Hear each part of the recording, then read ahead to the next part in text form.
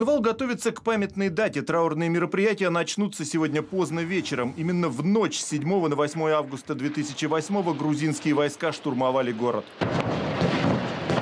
Эти кадры 10 лет назад облетели весь мир. Грузинская артиллерия градами утюжит спящий Цхинвал. В первые же часы гибнут российские миротворцы, направленные в зону конфликта по мандату ООН. Россия вынуждена была встать на защиту собственных граждан. Сомнений у первых лиц государства не было.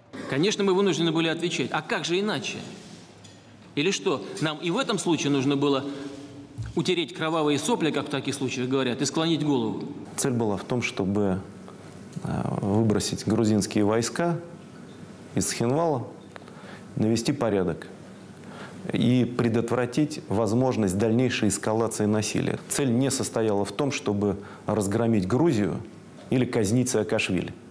В конечном счете это дало нам возможность успокоить ситуацию не только в Грузии, в Осетии и в Абхазии – но и выйти на достаточно спокойные отношения с Европейским Союзом и с другими странами.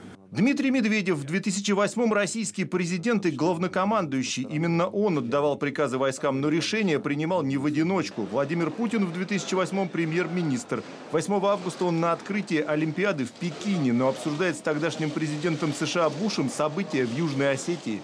В это время я, как вы знаете, находился в Пекине и имел возможность на коротке переговорить с президентом Соединенных Штатов.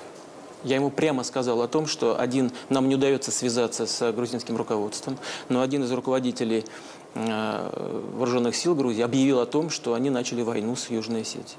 Джош ответил мне, что, я уже об этом говорил публично, э, что войны никто не хочет. Мы надеялись, что администрация США вмешается в этот конфликт и остановит агрессивные действия грузинского руководства. Ничего подобного не произошло.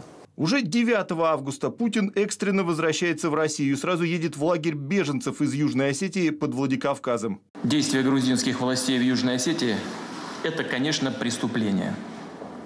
И прежде всего это преступление против своего собственного народа.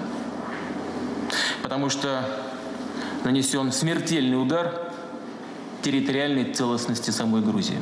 А значит, огромный ущерб ее государственности. Спустя всего несколько часов встреча Путина с Медведевым. Речь, конечно, о Цхинвале. На мой взгляд, это уже элементы какого-то геноцида против осетинского народа.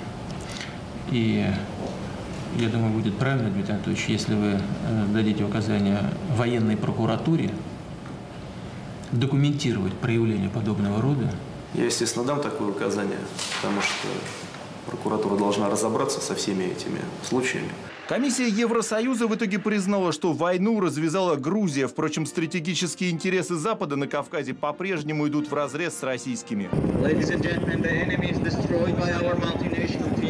Это совместное учение Грузии и НАТО. Достойный партнер. Они проходят прямо сейчас. Реанимирована опасная идея возможного вступления страны в Североатлантический альянс.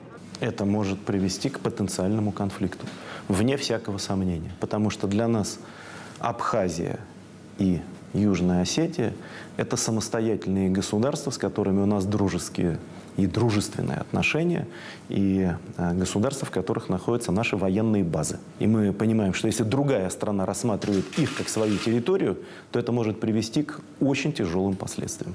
Поэтому я надеюсь, что у руководства НАТО достанет все-таки сообразительности ничего не предпринимать в этом направлении.